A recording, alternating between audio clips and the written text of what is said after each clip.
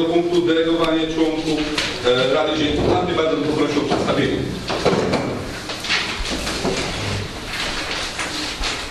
Projekt zarządu w sprawie delegowania członków Rady Dzienników Gminy Kogośla. Paragraf pierwszy.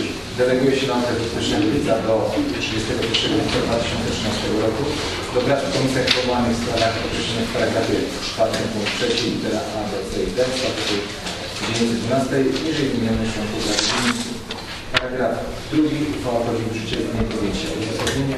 Delegowanie radnych umożliwia prawidłowe funkcjonowanie Radnych. Czy ktoś z Państwa chce zabrać głos w tej sprawie? Nie widzę, wobec powyższego poddaję pod głosowanie. Kto jest za przyjęciem?